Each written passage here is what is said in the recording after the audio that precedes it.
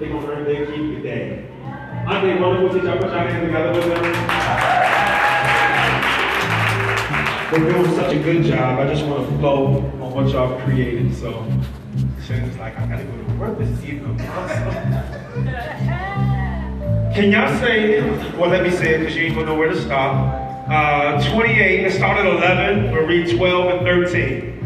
I'm going to try my best to get through all of this. Let me read it all the way through, and then we'll break it down. I won't be before you long, but we got to get out of this certain uh, codes uh, and certain passwords so that we'll understand the dynamics of what God is doing in our life. Now, listen, I had to give way to uh, two weeks in Occupy the Marketplace for the sake of Pentecost and Mother's Day. All right, so I'll be preaching the next two weeks uh, what I should have preached for those two weeks before. And then we'll go into a new series. Usually our new series are monthly.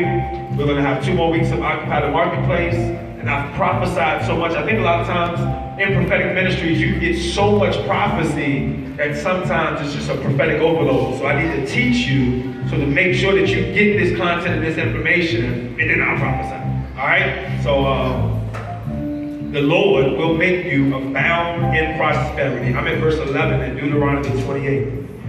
In the offspring of your body, somebody say body. body. In the offspring of your beast, somebody say beast. beast. All right, let's start over because y'all ain't going to talk to me.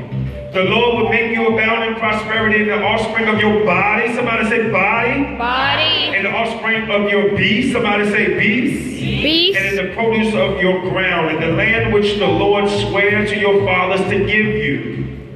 The Lord will open for you his great storehouse or his good storehouse, the heavens, to give rain to your land in its season. That's a cold. That's a cold. In its season. And to bless all the work of your hand. That's a cold. To bless all the works of your hand. And you shall lend to many nations. That's a cold. But you shall not borrow. That's a cold. 13 says, The Lord will make you the head and not the tail, and you only will be above, and you shall never be beneath. If, that's a code, you listen to the commandments of the Lord your God, which I charge you today, and to observe them carefully. Let's go back to 11. The B, the A part of verse 11 says, The Lord will make you. The problem with most of us is that we don't want to allow God to make us.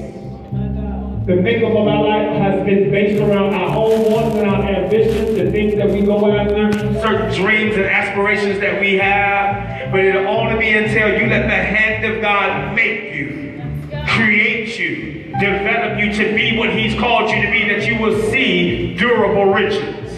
Now, I don't want you to get so inundated with wealth and my message of wealth that you think that it's all money. Because the scripture that codes today lets us know that wealth is not all money. It's not all money. It's not all dollars and cents. This is why you have people that are 80 years old, billionaires, and not happy. This is why you see those multi, multi-billionaires uh, leave their wives of 30 years and go date a teenager. Because you can have all the money in the world and still not have peace. And you can have no money at all and have all the peace that you would need. So you need to understand in scripture, the Bible says that I'm going to make you abound in prosperity. In the offspring of your body, meaning your children, in the offspring of your beast, and in the produce of your ground. So even in every aspect of your life, God wants to create you to abound in wealth. In your abilities, in your children, in your business, and everything that's attached to you. It should be growing. You should have multiplication in every area of your life. The reason why certain things come to you and stop is only because there's blockage in your life. For every nurse, for every RN, LPN, CNA, you fully understand what blockage is. And you sometimes, I know my grandmother had to have one, and a number of other people had to have one, uh, what's called a, a bypass, a, a triple heart bypass has. When, your arteries are blocked and the blood cannot flow appropriately, they have to go in and cut veins and, and arteries off of your leg and put it on your heart because you could lose your life because of blockage. And most of us right now are losing inheritance, losing legacy, losing promises because there's blockage in our life that we won't attend to. And when it goes unattended, you have to change your lifestyle, the quality of your life, the effectiveness of your life, the productivity of your life, because you can't run as fast as you used to run. You can't do the things that you used to do. So now you have to modify your output. Listen to me when I tell you that, because that's a wealth code. You have to modify your output, and with modified output, it modifies your income. Some of us pray for multiple streams of income. Some of us pray for God to do more from the outside in. But you can't produce more and get more. You're going to have to tap into what's already inside of you and give a greater level of output if you want multiple income to come into your life. Somebody say, make me. Make me. You quiet. Say, make me. Make me. The Bible declares it says the Lord will make you abound in prosperity and offspring of your body and the offspring of the beasts and the produce of the ground and in the land which the Lord swore to your fathers to give you. This is the text we're going to work. And the Lord will open for you his good storehouse, the heavens to give rain in your land in its season and to bless all the work of your hand. Put out your hand. Y'all can. Put out your hand. It's a wealth code. It's a wealth code. Look in your hand right now. Physically, it's nothing there.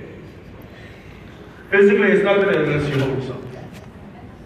In your hand right there is all that you need.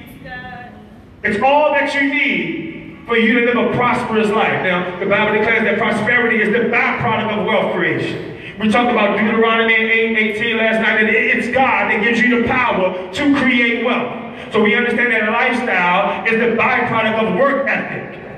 And it's the body of Christ that complains about everybody else, but doesn't have a legitimate work ethic that produces prosperity.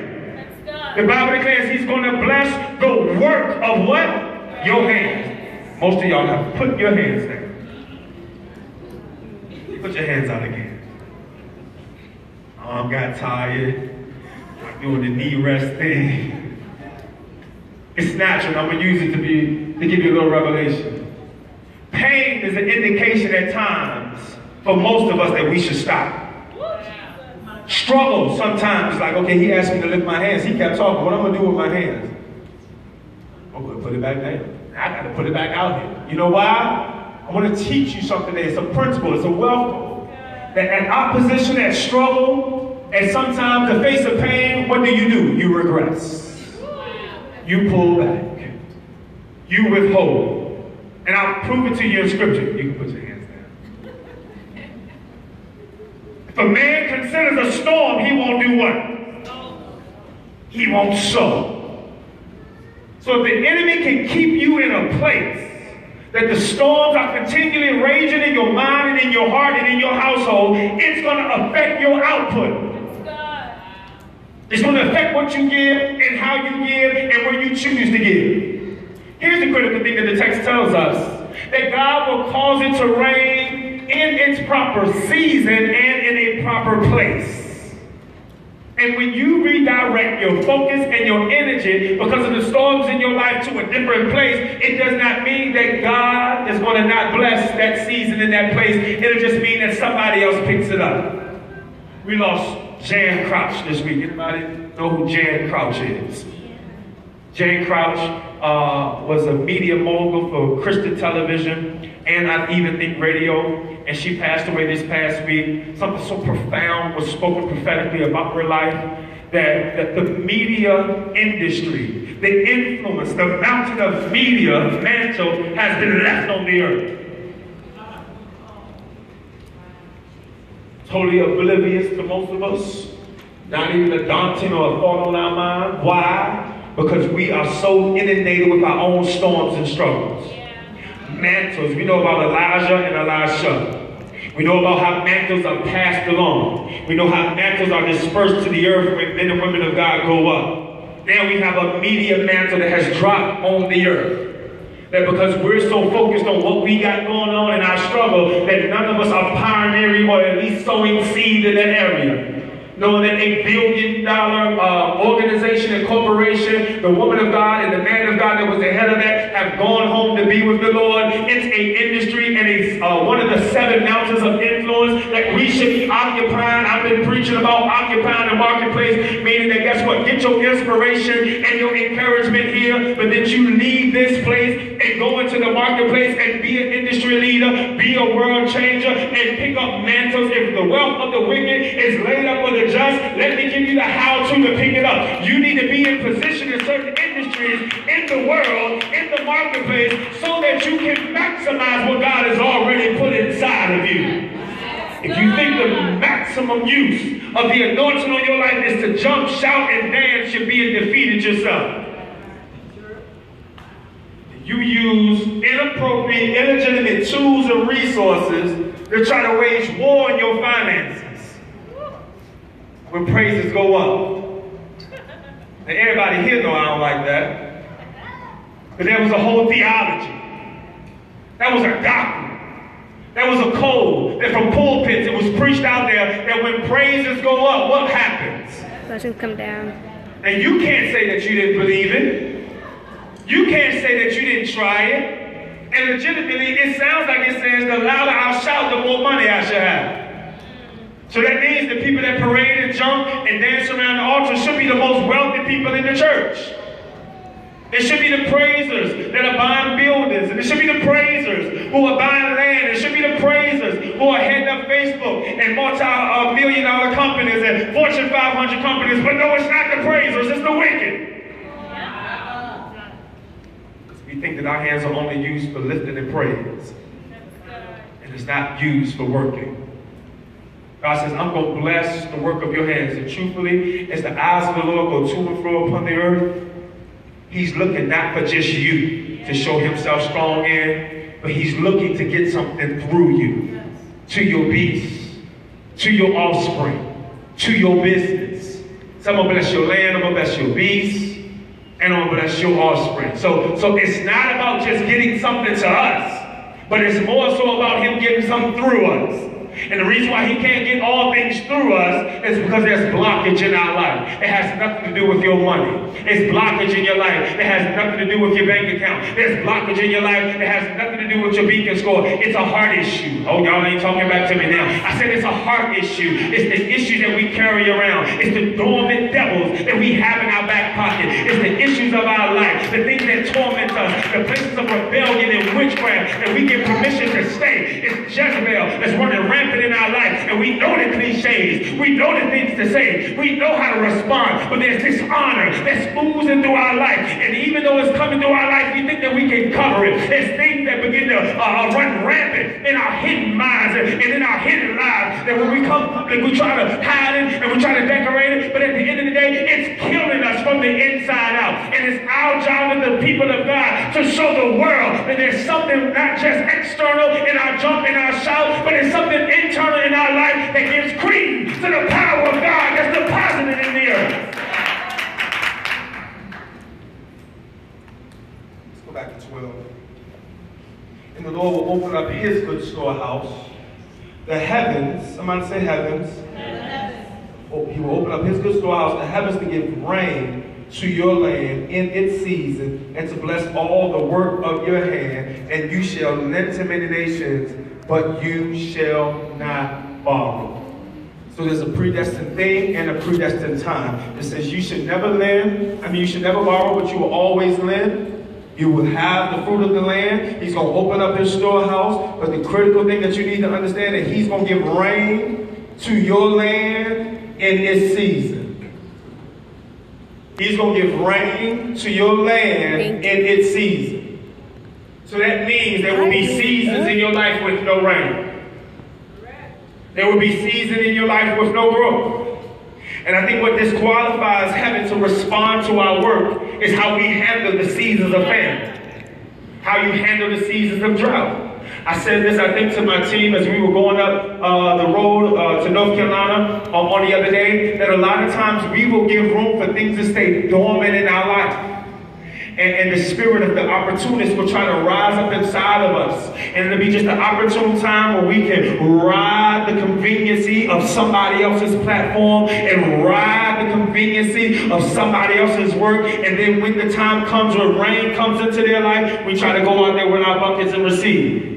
But you need to understand that if you have not toiled in the ground, ah, you go out in here. I said, if you have not worked the ground of the place that God has predestined you, if you have not sown seed into the ground, God cannot be mocked. You cannot withdraw from a place that you have not deposited. There has to be a work ethic and a tool and a sword that you put in your own hand to begin to dig ground in the place that He's called you to dig, to sow seed in the place that He's called you to sow seed, to do work in the place that he's called you to do work so that when rain comes and when harvest comes and things begin to grow, you can say, guess what? That's rightfully mine. That, that has my name on it. There's a sense of entitlement because I put in work in that place. I prospered in that place. I labored in that place. You dare not come in and steal anything from this place because this is my place where God is blessing me. I don't come to your house looking for your mail with my name on it, but I'm going to my house looking for my mail with my name on it because I pay the bills at that house. I clean up that house. That's my place of residence. That's the place where I lay my head. So you dare not come into this house telling me what I should do with my furniture. You dare not come in this house opening up my refrigerator telling me you don't like my food. There's the door. Let it hit you with a good God split you. Because everything in this house is attached to a labor and a work and a work ethic and an attitude and excellence and fight. You don't know the struggle that's been going on behind closed doors. You don't know the pain that's been going on behind doors. You don't want to see the nights that I had to endure. And you got the audacity to come up here and question, or you got the audacity to come up here and try to steal. Come on, The Bible speaks. If you come as a child, you can inherit kingdom. That's God. Suffer the little children, let them come. It's it's, it's very important that we understand the codes in Scripture. But say other ones will come as a thief and a robber in the night. He's very, very sensitive of how you approach him. He, he's very, very sensitive of how you come. If the high priest went into the holies of holy and he came wrong, he died. When the, when the man and the woman of God came and offered time and the apostle took up the offering and they came and they said, this is all that we have, and they lied, they died. And I'm not trying to scare you. I just want you to have a sense of urgency. I want you to have a value system. I want you to have a reverence for God. Because what you want reverence and what you want respect, you will dishonor and then abuse is inevitable. And we're trying to figure out why we can't withdraw from God because you're abusing and frustrating the grace of God. We learned this weekend that grace is the thing that gives you the power. That's the thing that gives you the power to create wealth. That when Paul even said, guess what? I got a thorn in my flesh. God says, guess what? I'm going to give you the Mom, grace. I'm going to give you grace. And not just grace to deal with it, but to overcome it. It's a power. It's an inner fortitude. And the reason why the grace of God cannot work in our life is because we frustrate the Holy Spirit. How do we frustrate the Holy Spirit? Because we won't submit ourselves to anything outside of our likings, our conveniences. If it causes us pain, if I got to hold my hands too long, if I got to stretch, if I got to do more than what I did before to get the same result, I won't do it. But you won't have a result that will outlive you. You'll have a week result, maybe a month result, maybe a 90-day result, but at the end of the day, you will live a fluctuating, unstable life until you get to a place that you embrace the pain of transformation, the pain of change, the pain that will cause you to raise up. There will be discomfort when you walk in destiny. I say it again. There will be discomfort when you walk in destiny. Most of you don't want to walk in destiny. Most of us don't want to change. But when you submit yourself to something that's bigger than you, you will have to change. Me and my wife have right now what's called, and we're disciplining ourselves uh, we, we, we have what's called a internal goal. And our internal goal is that by December 31st, uh, we're completely debt free. It's not a, a bill that we owe. Um, and that's in, in everything that God has assigned me to. Yes. Everything God has assigned me to. That's this church, uh, this Kingdom Cars, Yes. Hathaway Enterprises. Um, even if I start a business, I'm gonna start it debt free. Um, and, and even in my household, debt free. I have another goal that by December 31st, uh, 2017, uh, that I'm gonna have my house paid off cash. Um, oh no man, nothing but the love. Thank you for your applause. Thank you. I, I, I, I appreciate it. Thank you uh, so very much. It feels good to be appreciated. Um, and I'm appreciative uh, that you would celebrate that. But there's a level of struggle and strength and work ethic. that As much as I'm thankful for you to applaud the fact uh, of these goals and visions that God has put before me, I cannot allow the applause and the praise of man to condition me not to put in the work to get the job done. I, I can't even allow your applause and your praise to condition me not to put something in my hand to bless. Why do you think I work so hard? I work seven days a week and work hard on one day, that being Sunday, to do I work on the six other days? Why do you think that there's times that I lose sleep? Why do you think there's gonna be times that you're gonna have to lose sleep? Because there's a level of work ethic that the body of Christ is afraid of, and it's heaven looking from the, is God looking from the balcony of heaven, saying, All I need is somebody to put forth some effort, to put forth some energy, to put forth some work ethic to be able to make heaven respond on their behalf. But I don't even have one. The Bible says the eyes of the Lord go to and fro in the earth looking for somebody. Why would that scripture be even Bible if he hadn't found somebody yet? Why would he allow that to be recorded throughout eternity if we had qualified candidates? I mean, every Sunday, people show up to the house of God with hands lifted up, singing songs and dancing, and he still can't find nobody qualified to put in work. And we build our convictions off of conveniences. That's why people don't hang around me long. I'm gonna make you deal with the lazy, complacent, and stagnant areas in your life. You won't be able to withdraw from any account of heaven until you put in the work that makes heaven respond. He said, I'll open up the good storehouses, and I'll cause rain to fall in your land. And parallel that back to Genesis, we talked about it the other week, where the Bible declares that even when God made Adam, he didn't cause it to rain. That the outpouring of heaven couldn't respond to the earth. Watch this, because there was no man to do what? Till the ground. I wish it could say there was no man to praise, or no man to worship, or no man to sing, or no man to preach. It didn't say that. It says I got no man that's gonna put in some work. I don't have nobody to keep maintenance. I, I can't allow you to grow. I can't allow you to prosper uh, because you're lazy, uh, because you don't want to do what I asked you to do. I need somebody that's gonna put in work. There'll come a day in your life that you won't have to work as hard. If you put in the energy and effort early, you won't have to sacrifice later on. There will come a day that you can sit down and have rest and peace from all of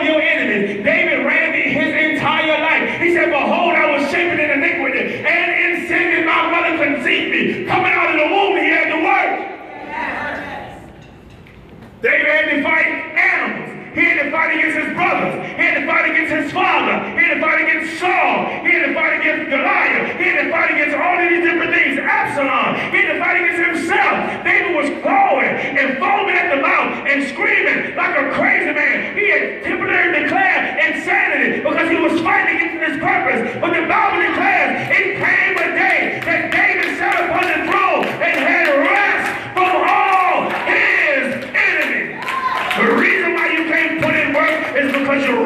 in your spirit. You got no peace in your home. You got no peace in your identity. You got no peace in what you've been called to do. But I prophesy over your life right now that you find peace and rest in this coming season. That it's not defined by money. It's not defined by support. It's not defined by pats on the back. But you will be content with what God is allowing in your life. There's a level of peace and rest that I have even right now. Everybody got things going on. But there's a resonating peace in my life. Watch this. Off the hope to come. Yes, God. Uh, I said off the hope to come. I said off of what's about to happen. Yes, God. Because me and God got we got history together. We got evidence together. And, and, and what happens is this, at each level that I get to and I see where God is calling me higher, I realize that I had to go through pains and struggles. And I see the results of those things and I was well pleased with it. I've literally vision cast myself to what I'm doing. I can remember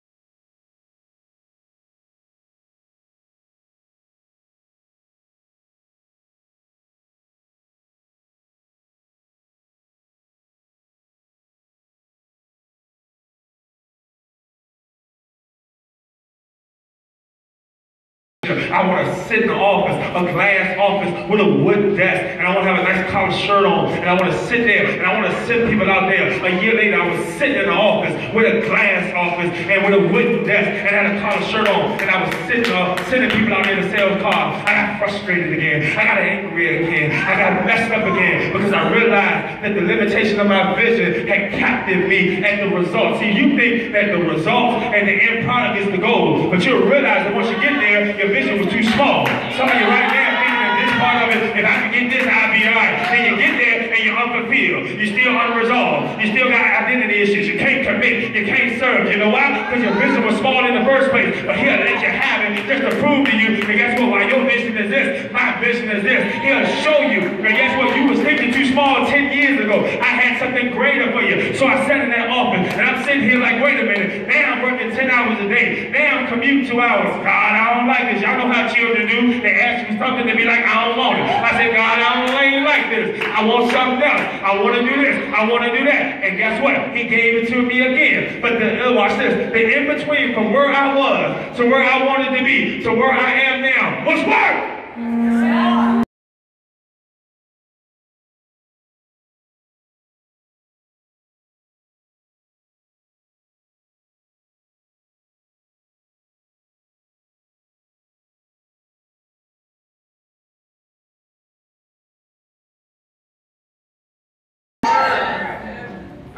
Two hours.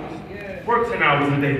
That was one way. Commuted two hours home. And still preach to you. I said I still preach to you. I still laid hands on you. I still showed you a work ethic. I went through change. We lost cars, houses, and money and everything else. And I still work. Because I believe that if I take care of your business, you promised me that you would take care of mine. He said, I'm going to bless the works of your hand. If you don't like it, work again. You don't like what you're seeing right now? Stop complaining, stop throwing tissy fits, and get to work. Get to work. It's a wealth code. We want the end result. But I got language for process, and that's not attractive. I said that's not attractive. Process is not attractive, but it'll be so honored once you get the end result. You are so valued. You wear the t-shirt every single day without washing it. Trust the process. I just love trusting the process because I now have a remedy to the failures of my past. I didn't reverence the process, nor the people assigned to my process. I'm not assigned to your end result. I fade out the way when you get to the end result because that's your victory. That's your success. You lift your hands. You celebrate. The attention comes to you. But I'm assigned to your process. I'm going to pull the flies out your oil. I'm going to deal with your I'm going to deal with your past. I'm going to deal with your failures. I'm going to deal with all of those things. And the thing that qualifies you from going to that place of being without to that place where God has called you to be is if you can endure a process. You're not going to feel like it at times. I just don't feel. That's your whole problem. Your whole life is based off your feelings and your emotions. And nowhere in scripture did anybody get blessed because of feelings. It's your feelings that's keeping you broke. It's your feelings that's keeping you sick. It's your feelings that have you going around the merry-go-round over and over and over you can come out with is a different cliche and some different type of little saying. But you ain't got no true power that's caused you to create nothing in your life that we ain't seen before. Show me something I ain't never seen before. Then I can trust you going through your process. He says, I'm going to bless, I'm still at 13, I mean 12, the works of your hand. Put out your hand again.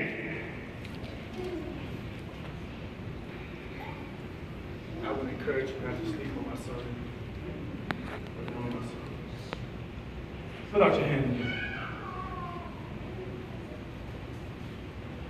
I'm going to bless the works of your hand. Every entrepreneur that came here last week, everybody else put your hand down. If you're an entrepreneur, you came here last week, lift your hand. Did you get business last week? Did people sign up and they, inquire, ask any questions about your business? Last week, you did. You said some meals last week. Did you get some inquiry about your business last week? Did you weren't an entrepreneur, or were you? Oh, okay, you put your hands down, that's fine. You, did you? Yeah. Who else was it? Anybody else? Did you get inquiring about your business? Shannon, inquiring about your business. He's gonna bless the works of your hands. Put your hands down. Everybody else, put your hands up. Is it something that you want to do? Is it something that you want to have? Is it something that you're aspiring to do? Is it something that God's got inside of you that's got to come out? Is it something that you got to dream about? Something you got vision about? Something that's got to come up out of you? Something that God's promised you? Is it something that you want to see in the earth that you don't see yet? Is it something that's trapped inside of you that's fighting it out? He's going to bless the works of your hands. Now, critical, thank you, Grandma, for being here today. So prophetic. It's critical that you get to a certain place in your life that it ain't about the money. Yeah. I can remember a number of days that I talked to that woman that got right there, and it wasn't about the money, and it wasn't about the stuff. She said, I want my babies blessed, I want my children blessed, and I want their children blessed. I'm just concerned about my babies. She said, the Bible declares in 11, it says, I'm going to bless you and make you prosperous and the offspring of your family. So for some of us, we're going to be, you should praise right here, you probably should clap, first time millionaire.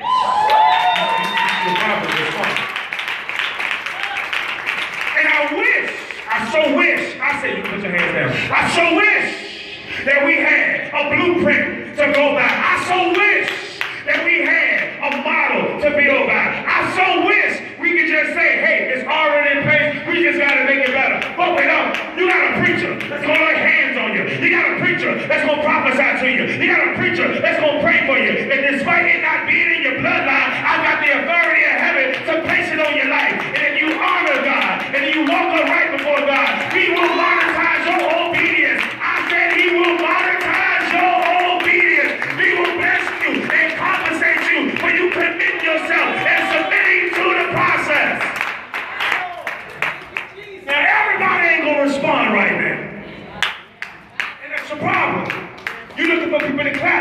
You're looking for people to support. And they don't see the finished product yet. The finished product is between you and God. The finished product says it's a guarantee that you'll get it because you're gonna look ugly going through the process. You're gonna be broke going through the process.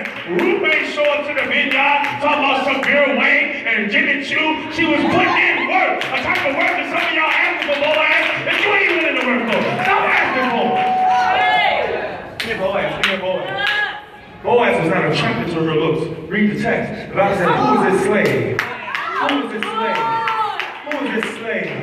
It's a different type of work ethic about this one right here. She was sweating. She was dirty. All to the point that she began to break the law because of her work ethic. When was the last time that God blessed you for breaking the law? She had moved herself out of the area where they were supposed to glean. And she began to work in another man's field and in another man's vineyard. And she began to cross the.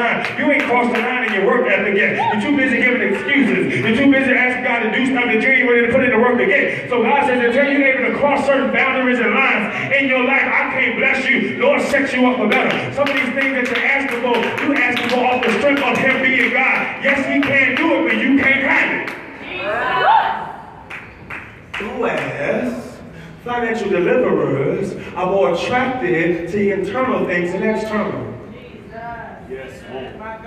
So I can recognize it's something different about your output, not your exterior.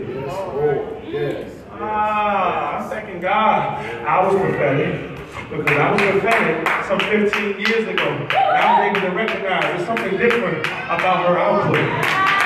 Something different about her output. She got sisters and brothers, and there's a whole plethora of other women out here that's doing some beautiful stuff.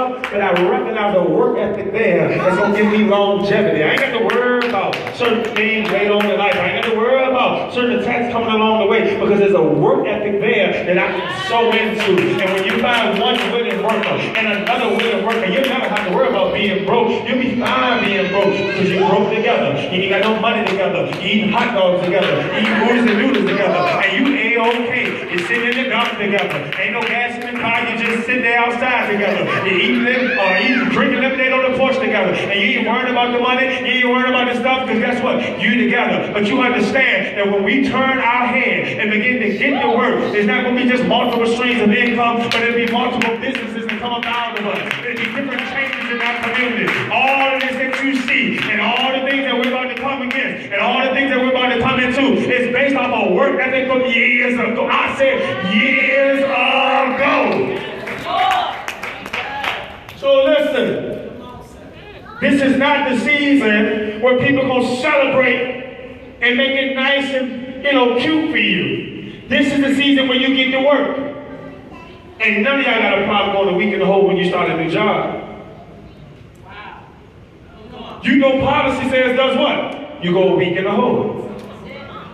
And you don't get paid that following that first week. You get the next paycheck. And you come to God with just blessings go up, praises come down inside. You reach your hand up and grab it. You still go home with nothing in your hand. Sometimes you gotta go in the hole. I know y'all want to hear it. Sometimes your credit score's gonna be affected. Sometimes your savings gonna take a hit. Sometimes your income is gonna decline. But he still is gonna bless the works of your hand. Sometimes you're gonna have to go through account and still strategize. Still be attentive to what heaven is saying. Sometimes your situation, I see it, I see it myself. Sometimes your situation can be so daunting that you just get numb and non-responsive. Even when heaven is doing its great work, heaven is doing its greatest work in your life when earth is not responding.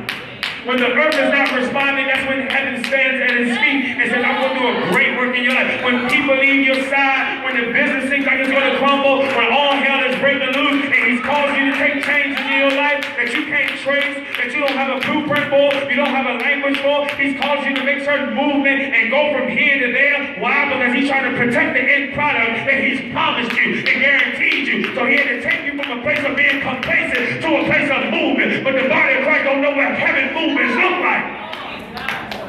Heaven's movement in your life is when everything is standing still.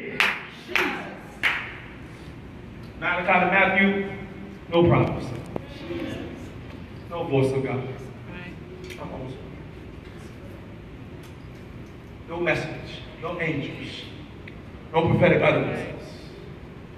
And God picked shepherds in the synagogue, shepherds at church, shepherds praying, no, no, no. Shepherds in the field working. Woo! I know y'all like the beeline to the little baby in the manger. I do too. I know y'all love the wise men. All the treasure, y'all trying to count that up. I get it. But the activation of God's voice again came to shepherds in the field working, tending sheep. Didn't come to the people in the church, didn't come to the people nowhere else, but it came to people that were in movement, in transit, who had been faithful during the silent seasons of heaven. They didn't lean to the left or right, but they continued to work. Some of y'all don't know what to do, and I'll prove it to you. And how you act and how you behave and how that thing rises up when your supervisor leaves. Supervisor come in your office, come around, and you. Hey, yes, good morning. You trying to about it? Everything's good. Good to see you. As soon as they leave, you peeking. As soon as they go out of their sight, guess what? The real you rises up. The real you rises up. So if that's how you practice the presence of authority, what makes you change on Sunday morning? You get antsy. Not when I come around, but the presence of God comes around. Don't know what to do. And you give certain cliches and answers just to get by this conversation. If I can just get through this conversation, I'll be fine. But there's a certain level of communication and verbiage that you're going to have to go back and get right to get out of God what you need. So if you've been avoiding the boss the whole time and then promotion comes around, evaluation comes around, and you step up in the office like, yes, I want to apply for the evaluation, who are you? Where you come from? I just know you and by. I don't even know who you are. I don't know, watch this, the real you. I the fake you. And until you can humble yourself and just be a real you, then maybe promotion can take place. But we're praying to a supervisor. We're praying to a God. We're praying to a superior that we're treating like the boss on our job. So when the presence comes, we don't know what to do. We don't know how to respond. But if you pray to a father, y'all don't hear me today. I said instead of praying to a supervisor, if you pray to a father, he will then give you instructions. My children do it all the time. Daddy, can I have? Yes, if you do this. I'm done. And I'll prove it to you. Go to 13. The Lord will make you the head and not the tail, and you only will be above and will not be underneath. if I mean, that just scraps every opportunity you think that you're going to slide in there I mean, that just scratched up. I mean, it sounded so good from 11 down to the 8 part of 13. You just thought you was going to get on up in there. You thought everything was going to be cool. You thought everything was going to be straight. You was the head and not the tail, the lender and not the borrower. You know, you was abounding in prosperity. Your body was good. Your offspring was good. The peace was good. The ground was good. God promised it to your father. He going to bless the work of your hands. You're going to do all that stuff. He'll make you the head and not the tail, and only above, and another be beneath, and you'll find yourself in all these prosperous places. But here's the contingency and the conjunction, and where most people stop at. You know, we praise to a limit, then we stop. We serve to a limit, then we stop. Y'all know we have those buttons that, you know, we, we say, look, I ain't going no further than here. I don't care what happens. The Bible declares, it says, if you listen to the commandments of the Lord, your God, which I charge you today, observe them carefully. So you can have all of that stuff. It's right there for you, not a glass season. It's right there for the taking. If you're obedient. The wealth code that I'd like to leave you today, I wish I'd have told you my sermon from the beginning, sermon topic, which was wealth codes. Um, I tell you now, I don't have three points in the conclusion like a good seminarian. I'm sorry. I only have one point, one statement, opening conclusion or closing. One word that's going to change your life. And also put before you a fork in the road. Uh, that word is obey. I wish I could hype you to a point where you jump in and shout. That ain't going to change something. I wish there was a crescendo of praise and uh, how and uh, all this stuff is great. I'll tell you one simple word that will change the full dynamics of your life, and that's obey. You're standing today a fork in the road. You got an opportunity. I tell my, my married couples this all the time. You got an opportunity to be an Abraham and a Sarah, or you can be an Ahab or a Jezebel.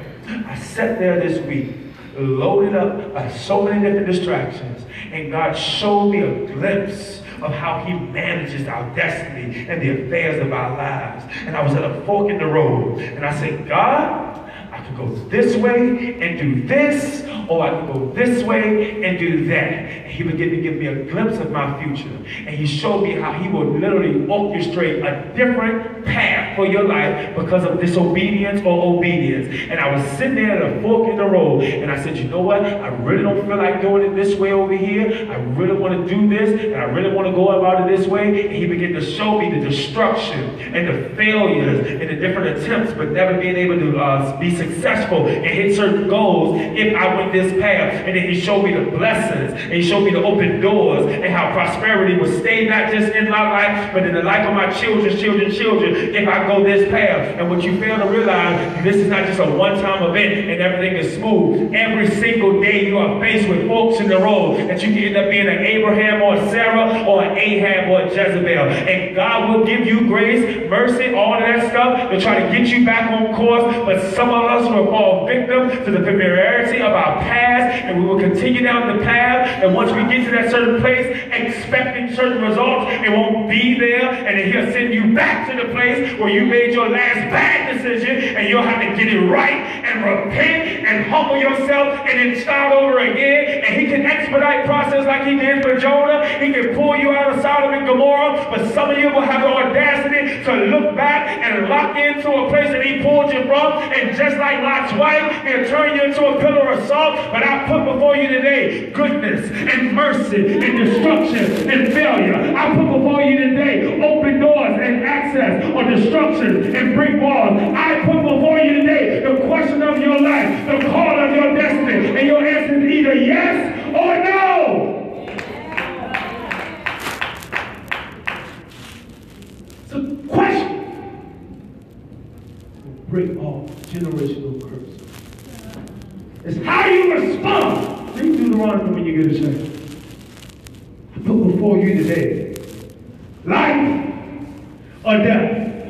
What is it? Blue pill, red pill? Was that the Matrix? I put before you today life or death. If you choose this, you will have this. And if you choose this, you will have this.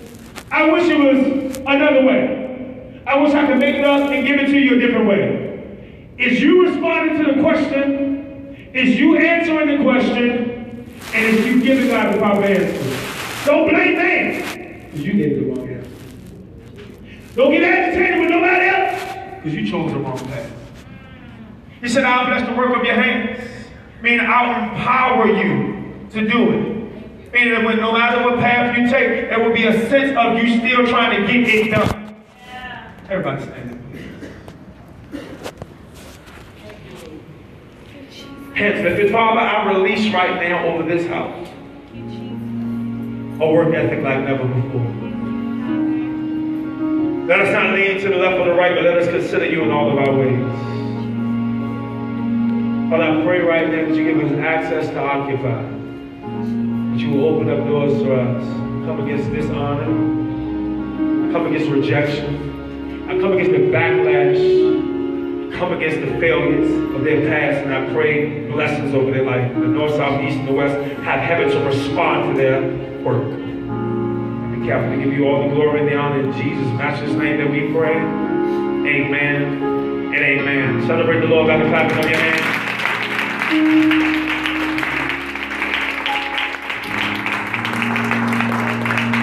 If you need prayer, please come to this altar.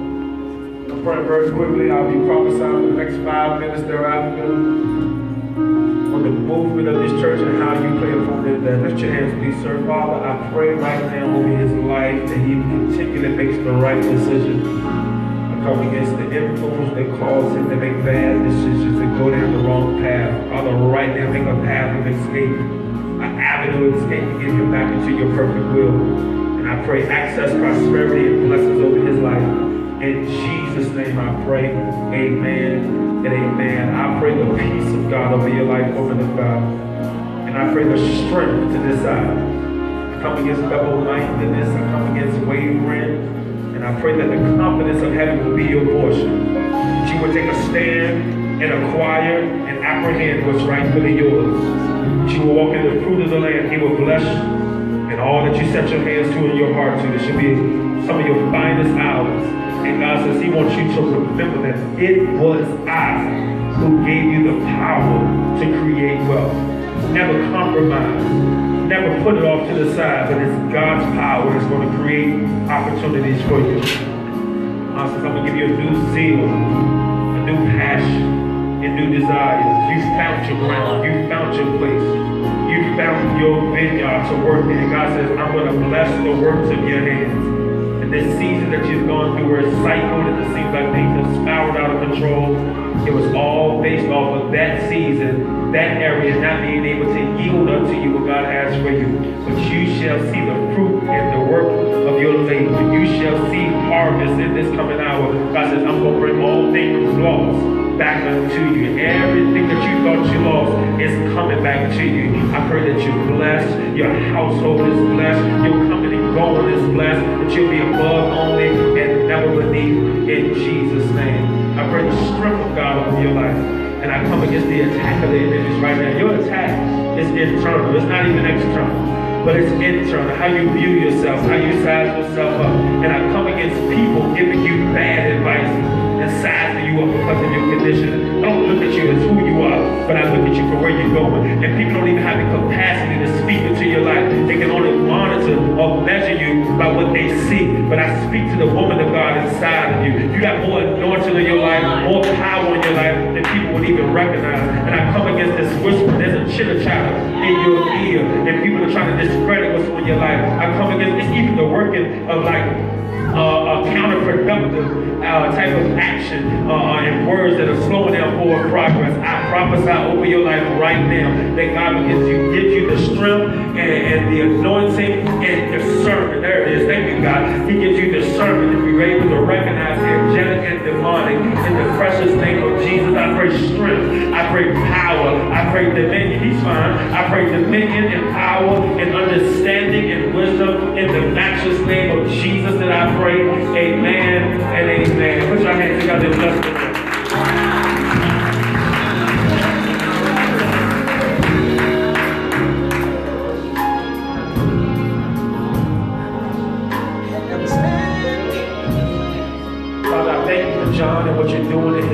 Lord God. I bless you that he's going to be a world changer. I come against how people will try to label him and how people will try to process him. And I pray right now, Lord God, for the uh, miracle working power of heaven to be his portion. I come against infirmity and sicknesses. I even come against people trying to give him uh, certain type of medications because of his behavior. Father, he is your peculiar treasure. He is your son of thunder. And I bind the hand of, of the enemy right now that will try to work against him in the matchless name of Jesus, we pray that this man of God come forth in full passion and power and splendor. In Jesus' name I pray. Amen and amen.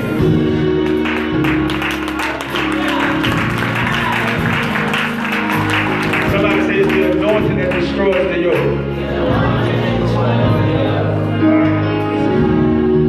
Um, um, I want to corporately pray that I'm done. We'll take up an offering our coffee conversation. But let me project for five minutes just the future of our church and what we're going to be doing over the next six months. Um, there's a lot of activity internally with what's taking place. God has had us in a season where it's almost like we've been underground. It's almost like we've been underground. There's certain things that God has not made available and visible for people to see. But this will be a season in our life as a body, as a church we will become more visible, not just in the eyes of believers. But God says, I've been sending you since day one to a people that I'm calling forth from the highways and the byways, people that have been looked over. And it's easy to attract the saints. It's easy to move uh, people from one church to another. But God has called hard season in a hard case. And God says, I'll make this church a storehouse. You don't hear me today. He said, I'm going to open up a good storehouse through this ministry. This ministry will be a gateway of glory for healing in this city, for deliverance in this community. And listen to me, you will be faced. You will be faced with choices and decisions. And even now, come here, you two.